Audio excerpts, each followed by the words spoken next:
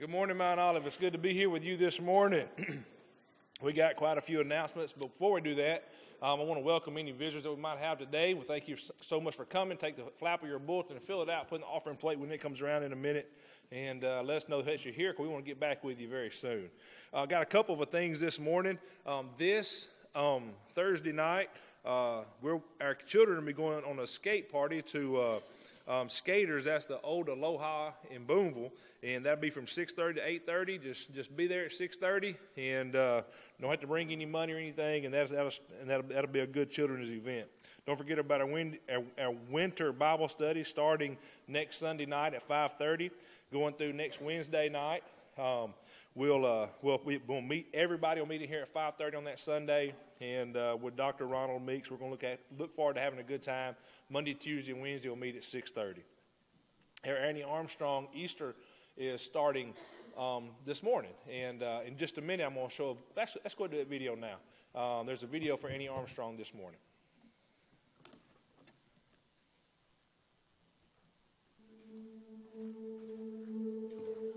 Can you hear it? Can you hear the call? The call to all the nations here in our very own. The beating hearts of missionaries being sent all across North America.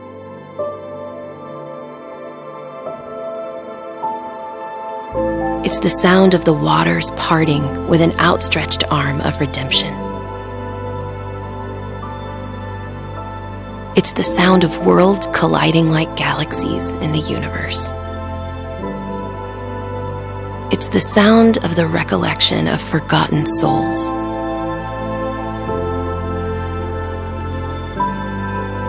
The sound of His kingdom being shaped from the dust. The sound of restoration amongst broken hearts. And the sound of a chorus between meager verses. It's in the reverberations of every tongue and every tribe, from sea to shining sea. Can you hear it? Here and now? The support received through the Annie Armstrong Easter offering is used to empower and equip missionaries in North America. Will you join together with us? Because there is much work to be done. Here and now.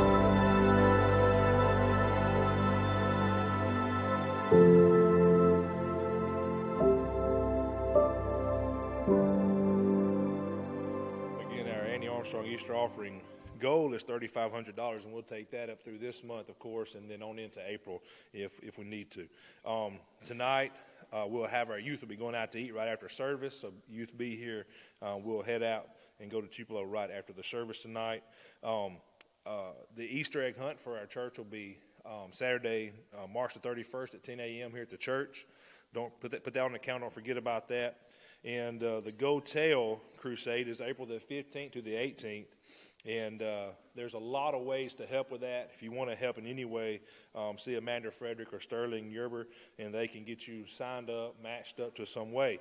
But one way will be choir. They'll have a community choir on that Sunday evening of the April the 15th. And if you want to be a part of that, they're going to have a practice on Thursday night, March the 27th at 6:30 at Vineyard Church upon the highway. So if you want to be a part of that choir, that, that community choir, that will be on March the 22nd at 6:30. Um, and then one last thing, um, announcement-wise, is our just kind of let you know about our Easter service changes um, that week. Uh, we will not have Wednesday night services, but we will have a 7 o'clock Thursday night service. Uh, we'll be taking the Lord's Supper and, and things here at the church on that Thursday night. Then on, we'll have an 8 a.m. breakfast on Easter morning, followed by a 9:45 worship in the sanctuary, and uh, and then there'll be no evening, evening services that evening. And I do want to recognize that the flowers this morning were placed in loving memory of Bobby James um, by his wife, Miss Brenda. And then we want to have a word of prayer, please. Let's bow for a word of prayer. Father, Father God, thank you again so much for this day. Um, God, thank you so much that you've given us the opportunity to be in this wonderful place. Um, God, we just thank you um, that um, even in the midst of storms of life, God, that, that you are still present, always present, and God, that you're always there with us. Father, I pray that this morning, God, that will be a consistent theme in our lives and our hearts, God, that we will always run to you, God. We will search you. We will try you this morning, God, that we will be directed by you, Father, that you be with Brother Anthony and you be with Brother Stanley as they serve in our service this morning, God, that, that these two men, God, will. Um, that you will honor their preparation, and God, that you will speak through them and use them this morning how you see fit. God, we pray that our church will, will, will, will do what you ask us to do. God, we will um, be disciplined to to, to, to live in the way that you ask us to live, to live in a righteous and holy way. God, as a church, that we will follow after you, that God, that we will do things that you ask us to do, that we won't be, we'll have the courage and the bravery to stand where we need to stand and, and God, to do the things that you want. Father, again, thank you so much. Thank you so much for Jesus. Thank you so much that we have an opportunity because of the death of Jesus because of the sacrifice of your one and only Son. We have an opportunity to know you personally. God, and I pray that for every person in this sanctuary this morning, that everybody in here will have a personal relationship with you. And God, we pray that in your Son's name, in that name of Jesus, we pray. Amen. Y'all stand, let's have a time of fellowship, please.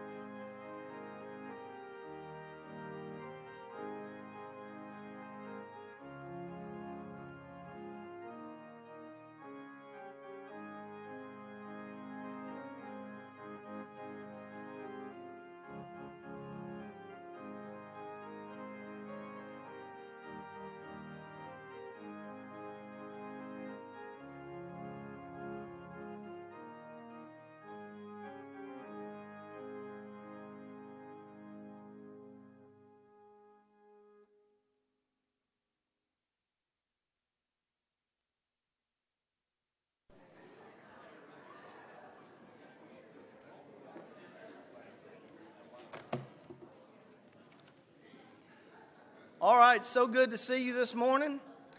Let's sing this morning three verses of Old Worship the King.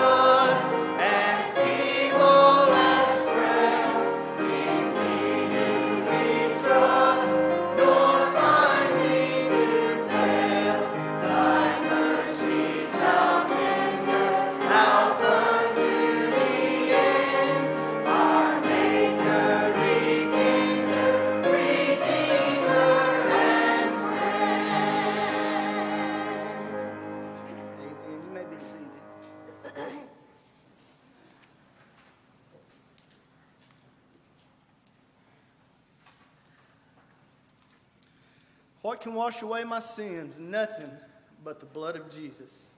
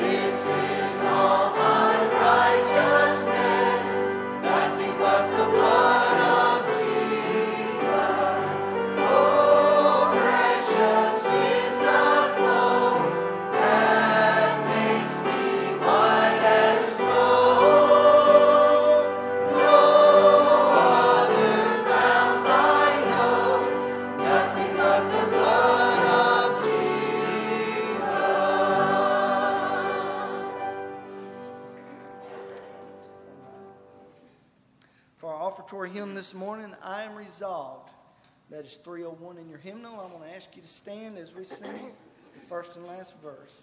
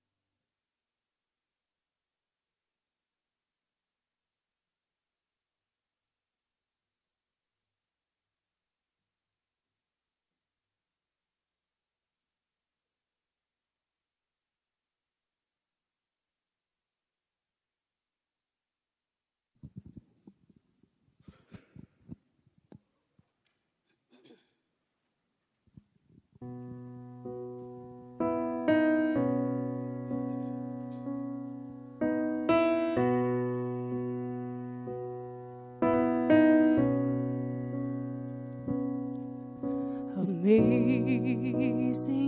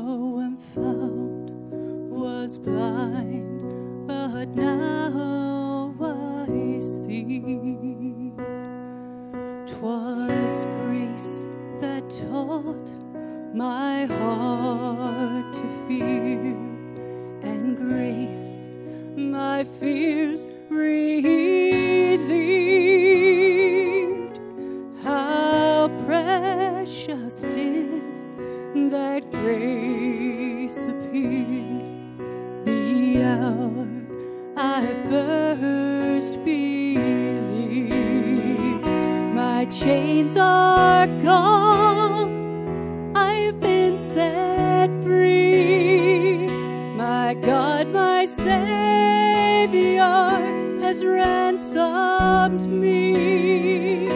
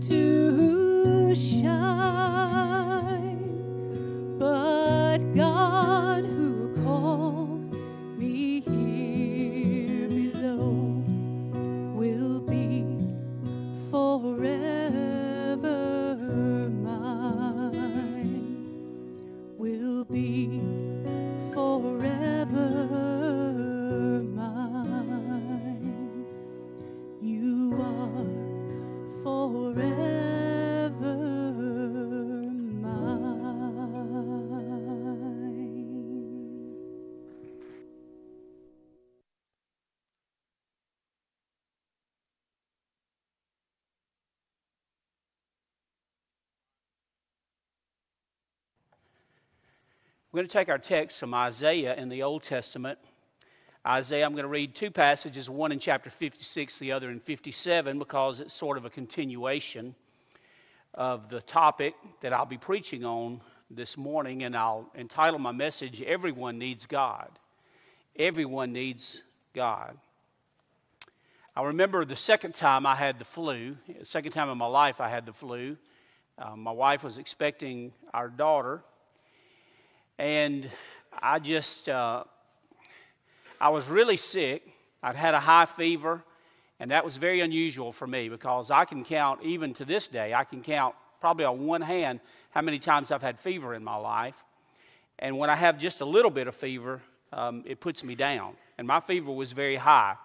And I decided that I needed to work, so I went ahead and worked that day and uh, got home, and I was just had chills. I don't know how I made it through the day, actually. I mean, I, I was just really, really sick. And that night, laying in the bed, I remember my fever was high, and I just had chills. I began to get nauseated. I laid there as long as I could. Finally, jumped up, went to the bathroom. I didn't turn the light on. There was a little stool there that our son used to stand on to brush his teeth. I tripped over that. I fell. Judy came rushing in, turned the light on. I was laying there on my back, just addled looking, you know, and I think she thought I was about a goner, and I felt like I really was. And all because I was just uh, too, uh, too self sufficient to go to the doctor. But I found out. Uh, you heard that amen from my wife? Ooh, that stung.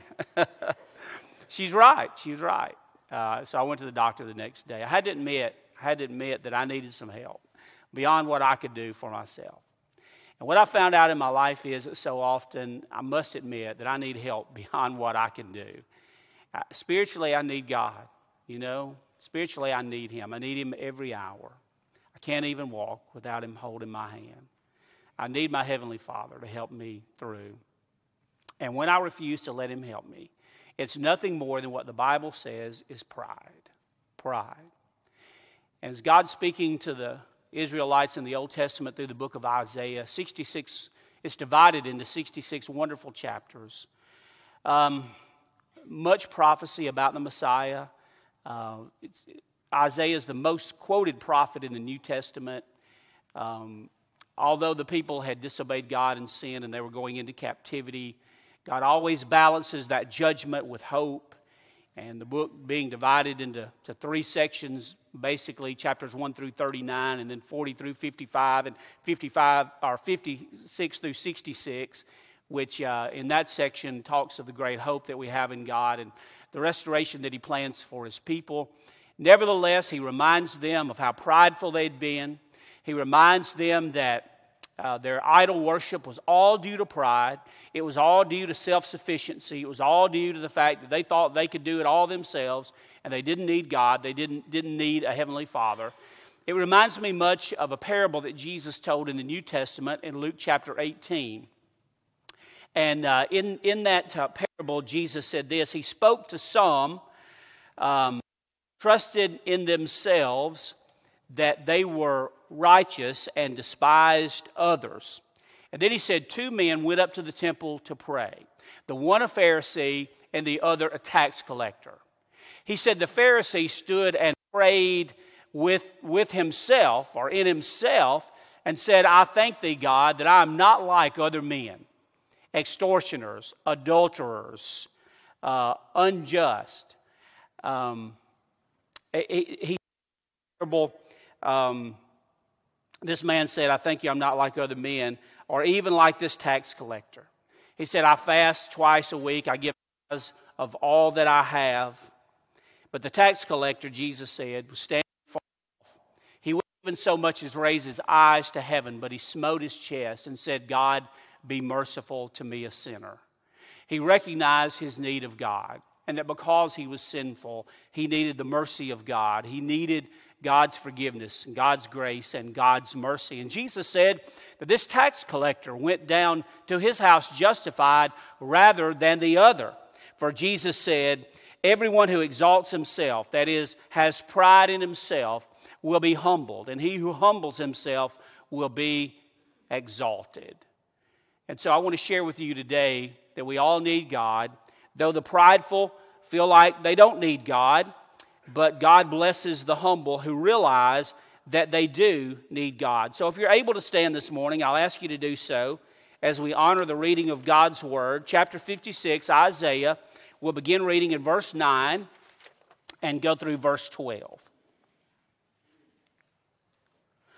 All you beasts of the field come to devour, all you beasts in the forest his watchmen are blind. They are all ignorant. They are all dumb dogs. They cannot bark.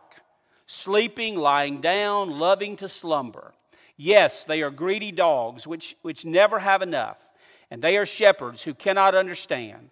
They all look to their own way, every one for his own gain, from his own territory. Come, one says, I will bring wine, and we will fill ourselves with intoxicating drink. Tomorrow will be as today, and much more abundant. Now, in chapter 57, we'll begin reading in verse number 10. And you are, we- uh, you are wearied in the length of your way, yet you did not say, There is no hope. You have found the life of your hand, therefore you were not grieved. And of whom have you been afraid or feared that you have lied and not remembered me, nor taken it to your heart? Is it not because I've held my peace from of old that you do not fear me? I will declare your righteousness and your works, for they will not profit you. When you cry out, let your collection of idols deliver you. But the wind will carry them all away, a breath will take them. But he who puts his trust in me shall possess the land and shall inherit my holy mountain.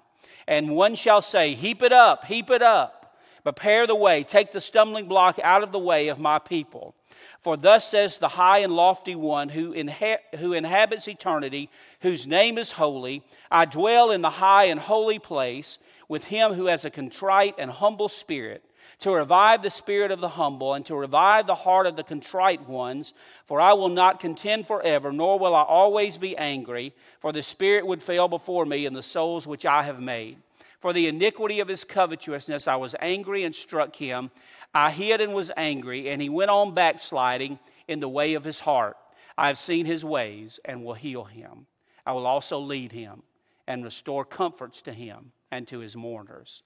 I create the fruit of the lips, peace, peace to him who is afar off and to him who is near, says the Lord.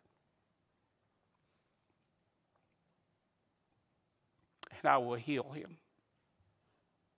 But the wicked are like the troubled sea when it cannot rest, whose waters cast up mire and dirt. There is no peace, says my God, for the wicked. Father, thank you for your precious word today and for the healing that you give us, not only in body, but more importantly in soul and spirit. You are our Father. You are our resting place. You are our source of comfort and strength in time of trouble. You are our help when we humble ourselves before you, Father. When our spirit is lowly and contrite. When we cry out to you, you hear our prayer. When we pray thus within ourselves, that we are good and that we are not like others, then your word tells us there is no justification for that. We thank you for the peace that you give us through your precious word, through your Holy Spirit, through Jesus Christ our Lord, for your great mercy and love. Thank you, Father. Speak now to us, Lord. Teach us truths and help us to obey your word simply because we love you. In Jesus' name I pray. Amen. You can be seated.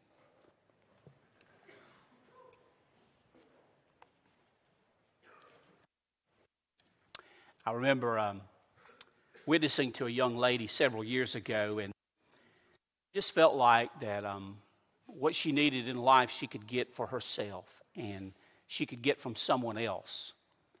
I tried to share with her that there's no, there's no one on this earth that can fill our need like Jesus can fill our need. There's no one who can be all that they ought to be by themselves, trusting in themselves, or even trusting in others, unless you trust in the Lord Jesus Christ. Isaiah begins this section with a condemnation of idolatry and unbelief, a condemnation of prideful thinking and prideful living. He records the the man me 13 his love is towards those who will humble themselves before him and call out to him in time of great need and that would be every one of us, for we are all in great need every moment of every day. God intends in this passage to heal a nation. And that's what he's talking about. To the nation of Israel, to his people, to his children, he intends to give them healing and comfort and strength. He is their God, and he is the one who has brought them through the great Exodus out of their bondage and freed them to live for him and to trust him and to follow him in everything. They were a who basically, we might say today, had, who had gone to pot, believing and trusting in idols. God said, Cry out to your idols and see if they can deliver you. Call out to them and see if any one of them will come to your rescue. And yet, when we call out to God, we know that He always comes to our rescue. We find a pathway for individuals who, uh, who are damaged, and that would be all of us. Pride damages us. It does. It damages our spiritual life, it damages our relationships, it, it damages every part of our lives. As we look at the passage, and especially in verses 9 to 12 of, of uh, chapter 56, we find that Isaiah describes those destructive effects of pride, of sin, on a person's relationship with God.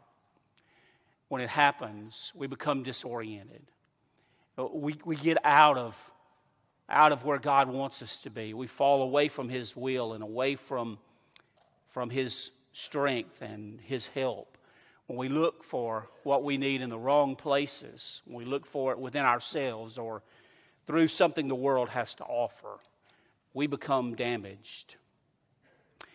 Verses 9 and first part of verse 10 in uh, chapter 56 talks of a blindness. It, it, speaks of a blindness that, that we have. If you'll look at that with me, uh, verse 10 his watchmen the Bible says, are blind. In the New Testament, Paul puts it this way in his letter to the Corinthians The God of this world has blinded their eyes. And that's exactly what we find. The God of this world, little g, which we know there is no, there is only one big G God, and that is our Heavenly Father, the Creator. But the this world, Satan, who has some, some power, whom God has, has given some to, to be able to influence, uh, tempt people has blinded them. They cannot see spiritual truth.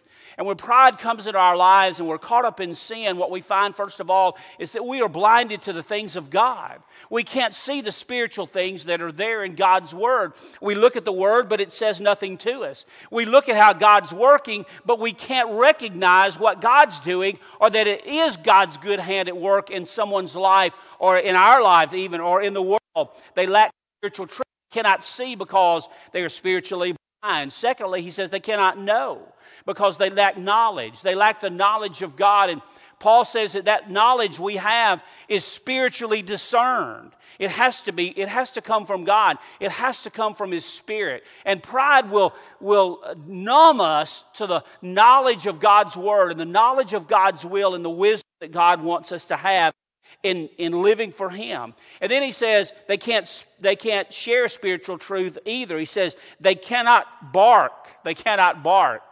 Uh, speaking in terms that we can understand of a, of a pet, of a dog. I remember a friend of mine had a, a little dog that stayed in the house, and that dog barked constantly. I mean, it was constantly barking, but it never did anything to you. It never would bite you, but it would bark and bark and bark.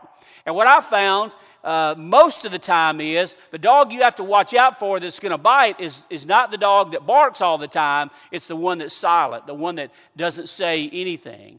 And so, what we find here, they cannot bark, they cannot share spiritual truth. Uh, it says here. They cannot bark. They cannot share that spiritual truth. And if if they're looking to do anything they're just looking to bite. They're looking to get what they want rather than what god wants they're damaged but he also says those who are prideful, those who are caught up in the sin of idolatry and in looking to self and looking to others are those who are dreaming. Those who are dreaming. Look at verse 10 sleeping, lying down, loving to slumber. That means lazy when it comes to the things of God.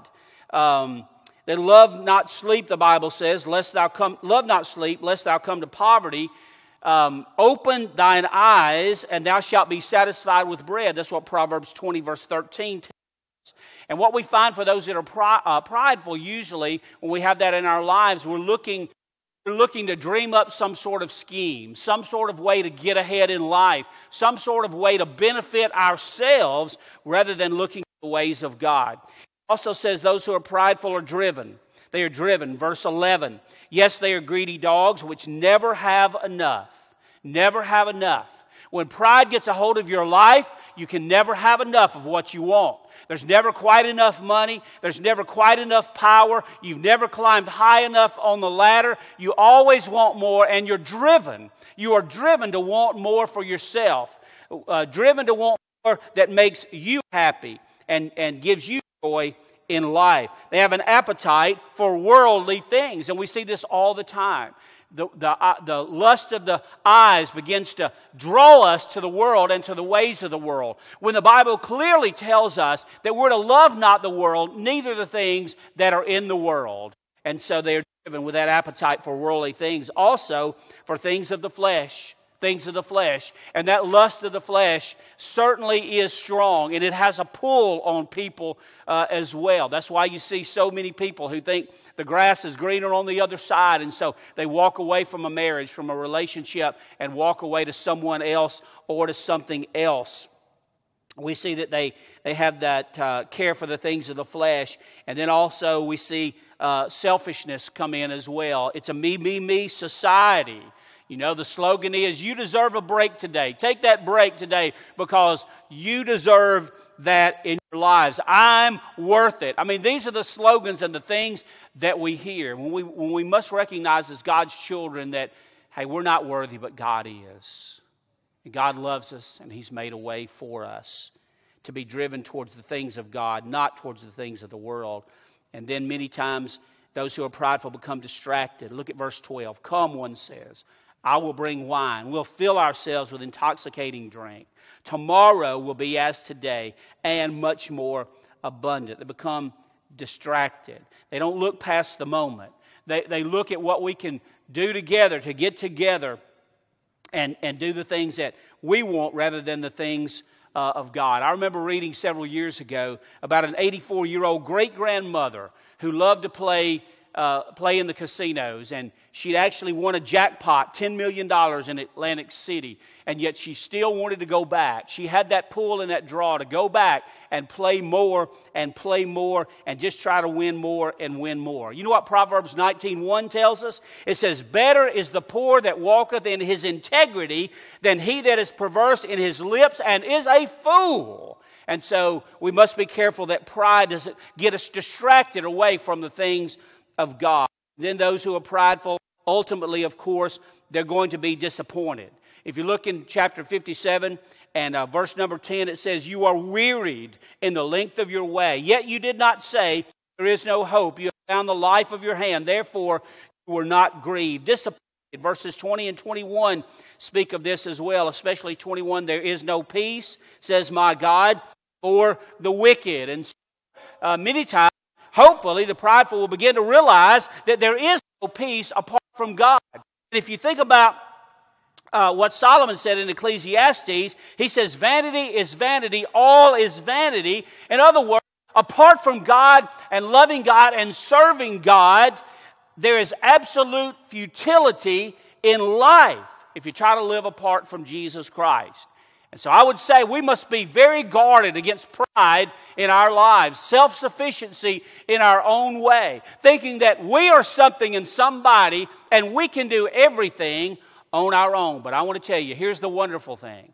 When we recognize God and God's place, God is the king of our lives, God is the king of the world, God is the king of everything, and we're not, then we begin to have that humble and contrite heart that God lifts up and God exalts. The prideful will be abased, they'll be taken down. But those who are humble and contrite, God will lift them up and draw them near unto God. I don't know about you, but I want to be near to God.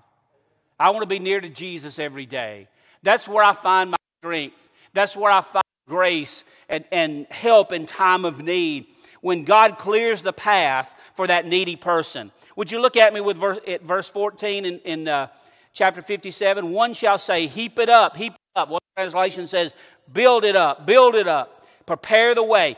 Take the stumbling block out of the way of my people. I love that. Take the stumbling block out of the way of my people. You see what, what that means? God is clearing a path. God is taking the obstacles out of the way. Now, I know we say often, that God doesn't always take the obstacles out of our way, right? There are challenges before us. God doesn't always move those. But God helps us to get over those, or God takes us around those, or sometimes God just takes us right through. In it all, God is holding our hand, no doubt about. But there are definitely times that we need to recognize that God removes the obstacles out of our way.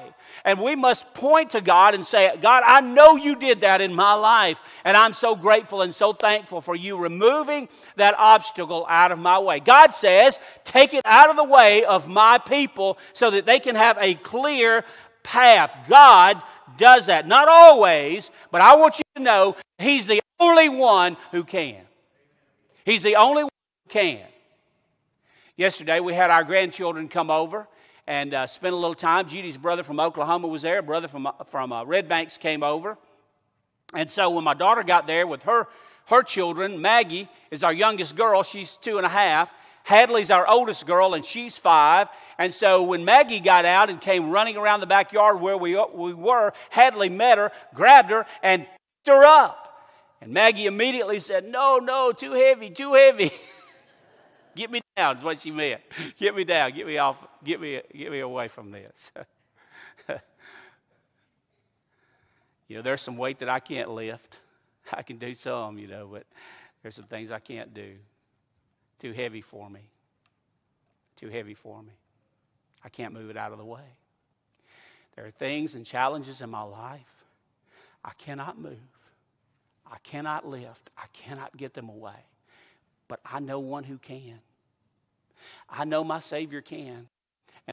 And if He doesn't move that obstacle out of my way, I still know He's got my hand. And I know He's never going to let go. Never, ever. We can talk about holding on to God all we want to, but if you're His child, you're humble and contrite in spirit, God's holding on to you. And He's never going to let go of you. And He is able. God speaks to needy people as well, those who are humble and contrite. Isn't that a marvelous thing? He speaks. Look at verse 15. For thus says the high and lofty one, thus saith the Lord. That's what we find in the Bible. For thus saith the Lord. The authority comes from God because God is the God who speaks. He's not like one of those dumb idols that you just look to and it's never going to say anything to you, never going to interact with you, never going to do for you. But we have a God who loves us and cares and speaks to us. And God has given us His wonderful word, and He speaks to us through that word every day. We can look, at, look to the word, and God speaks. And He speaks through His Holy Spirit. And, and He speaks by His word. And He speaks through other Christians and speaks through the church. And God does a great work in our lives, and God hears us. And we know Jesus when we cry out. The Bible teaches us that. The Bible says, I waited patiently for the Lord. He inclined his ear and he heard. He heard. He heard my cry. He brought me up also out of the horrible pit, out of the miry clay, and he set my feet upon a rock, and established my goings, and he hath put a new song in my mouth, even praise unto our God. Many shall see it and fear, and shall trust in the Lord. Psalm 40, verses 1 to 3. A new song in my because he's raised me up out of the pit, out of the miry clay. He has set my feet on a rock. He inclined his ear. He heard me when I cried out. You know what crying out to God signifies? It signifies a broken and contrite heart. It signifies a humble spirit. It signifies a needy person who knows they have to look to God, that He's the only one. He's the only one who's going to help and the only one that really can help us. For God answers when we cry out, Thus saith the Lord. We truly cry out for peace, He hears but our heart has to be open to Him. I know we talk about our heart being right before God. The only way our heart can be right before God is if we trust Him and if we know Him. And if you haven't trusted Him yet, the only way your heart can be right there again is really just the same way. You have to open your heart to God, you have to open it up, and you have to trust Him. And you have to know that He loves you, that He cares for you, that He has a good plan for your life, and that He's going to bless you and see you through. He will answer. He will answer. He answers in His way. He answer, answers in His time. But we know God does answer. If we open our heart, if we trust Him, if we're willing to follow Him, if we're willing to, to obey His word, willing to forgive, willing to love God and love others, then uh, He's, he's going to do it. He's going to bring honor to Himself. And he brings honor to himself by our witness that we trust God, that we love him, and that we just depend upon him. God reveals himself to the needy, of course. Uh, in verse 15, um, I will dwell in the ho- high and holy place with him who has a contrite and humble spirit. This is God speaking, right? God says, I will dwell. I will dwell with him who has a contrite and humble spirit. Of the contrite ones, to revive it. And so God dwells with those who are needy. Contrite means to be crushed, to be crushed in small pieces or particles. When I read that, when I thought about that, my mind went back to the World Trade Center um, back on 9 11, when that horrible attack came upon our nation and those planes flew into that World Trade Center and, and it just it, it just went down almost into dust.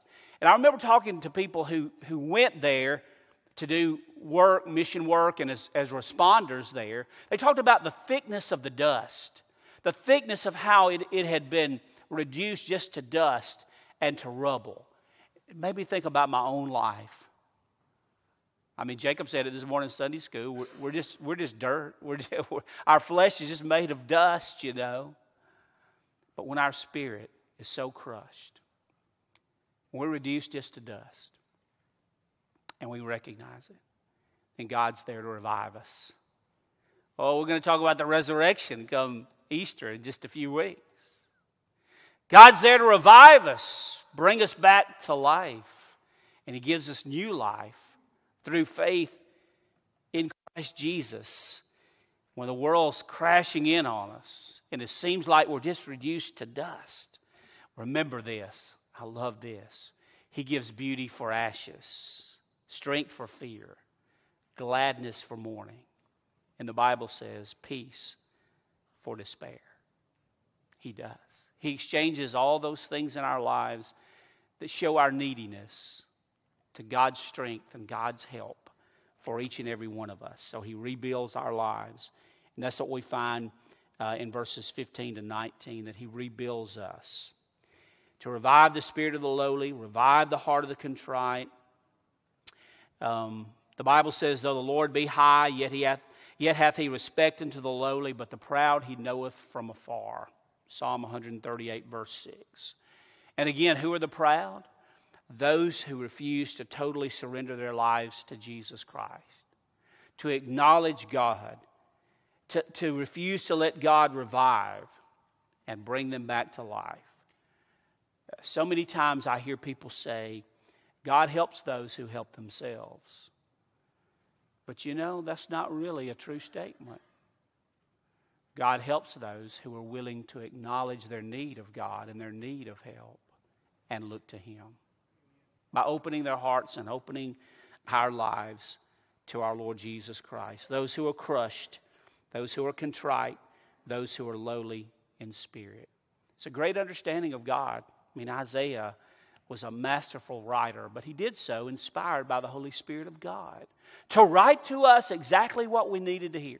To the Israelites of, of those many years ago, and to us today, sitting right here, to see who God is, how often He is the King of the world, He is the King of my life, and to see who I am, and to see my great need of God. And it's my prayer that I would never ever like a Pharisee who would stand and pray thus within myself and thank God that I am not like other men, that I'm not an extortioner uh, or an adulterer, or even like somebody else, even like this tax collector, and that I would toot my own horn and say, I give this and, and I do that and I this and I that. But be, to be more like that tax collector who would not even lift his eyes up to heaven, but smote his breast and said, God be merciful to me, a sinner. That's the attitude God believes. That's the person God is able to work through and wants to work through and does work through. And if you want to be prideful and look to self and look to, to your idol, your idol of self, well, God will let you do that. But He's not going to bless you. You won't find your help in God when you have that attitude, but rather when we have this lowly and contrite heart. And I just pray that. Uh, that I always recognize God is high and lifted up and cares about me, especially when I'm crushed and when I've been beaten low by the damage of the difficulties of life, and yes, even my own sinfulness and my own prideful attitude. Too many times we look and we say about someone who, who, um, who falls in a bad way, we say, well, maybe it's what they deserve. But I'm thankful we have a Heavenly Father who says, let me give you what you don't deserve. Let me give you what you don't deserve. And that's the grace of God. And then by not giving us what we do deserve, we receive the mercy of God in our lives as well. Here's what Jesus said I came not to call the righteous, but sinners to repentance. It's not those who are whole that need a doctor, but those who are sick. Not those who are whole that need a doctor, but those who are sick.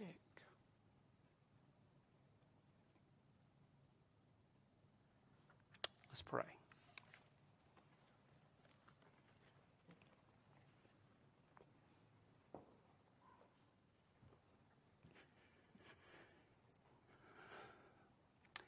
Our great physician, we cry out to you, recognizing that. Many times we find ourselves in the emergency room of life. And our need is so great because we're so sick. And we're in need of healing and wholeness. And only you, Father, can provide that. In our brokenness, in our humility, in our contriteness, we recognize that we find you. In our pride, in our self sufficiency, in our selfishness, there is no peace. No peace. And Father, we are so in need of the peace that passes all understanding. And we know that that peace can only come when we have peace with you. And peace with you, we know, only comes through a relationship with you, through faith in our Lord Jesus Christ. Trusting Him in everything. Trusting Him as the one and only Savior of our lives, of the whole world. We thank you for our dear Jesus. We thank you for our Savior who died on that cruel cross, rose again the third day, that we might have eternal life through faith in all that He is and all that He has done for us. Father, thank you. We praise you today for that. Lord, help us to walk in your ways, to humble ourselves before you, and let you exalt us in due time. Father, I pray for the needs of everyone here today under the sound of my voice, for our wonderful, marvelous church family, for how you've blessed us, Lord, and how you continue to bless. May we walk in humility as a church, recognizing that you are our great shepherd. And we look to you, Father, for guidance, for protection, for provision. Lord, you alone can provide all that we need. Father, I pray for those here today, today who need the provision of salvation, those who are lost. Father, would you show them their need to repent and place their faith and trust in Jesus Christ? To turn from their old way of life and trust Jesus as Lord and Savior. I pray, Father, that those who are lost today and need that will be saved, Father, that they'll give their heart and life to Christ and come forward and make that public so that we might rejoice with them. I pray for other needs, Father. You know our church family. You know those that are here today and what our needs are. Lord, help express those to you, Father, and to work of healing and grace and peace in our Father, if there are other public decisions that ought to be made, Father, you know our hearts and we know what you want. Your spirit is here strong among us. May we certainly, Lord, today just open our hearts and lives in full surrender to you, all for your honor and glory. In Jesus' name I pray. Amen. Let's stand as we sing our hymn of response. Have thine own way, Lord. Have thine own way,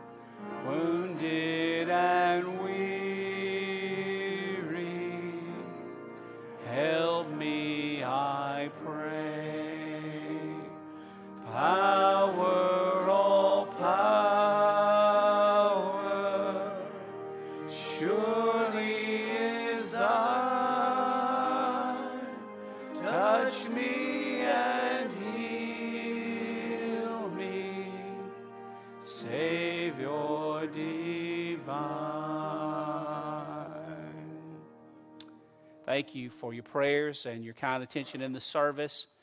I want to say a word of thanks to all those who uh, were able to come and help yesterday. I know some would like to have and, and were not able to, but those who were able to, thank you for doing that. We had a, a good cleanup day, a good work day here in the church, and also uh, in the in the house in the parsonage.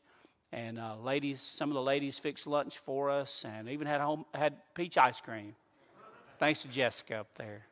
It was it was marvelous. Had a good time of fellowship around the table, and and just a good time of working together. It strengthens our fellowship when we're able to do things together like that, and uh, recognize that this is God's this is God's facility. Everything belongs to Him, and we just want it to be the best that it can be for for His honor and glory. So I thank you for that. To our guests, we're glad you're here today, and we welcome you to come back and worship with us. Always glad to have you worshiping with us. And I can help you in any way, please don't hesitate to let me know that. All right. Anything else before we dismiss? Discipleship training at 5:30 this afternoon. Worship at 6:30. Love to see you back. All right. Let's bow together. We'll have our closing prayer. Billy, will you voice this prayer for us?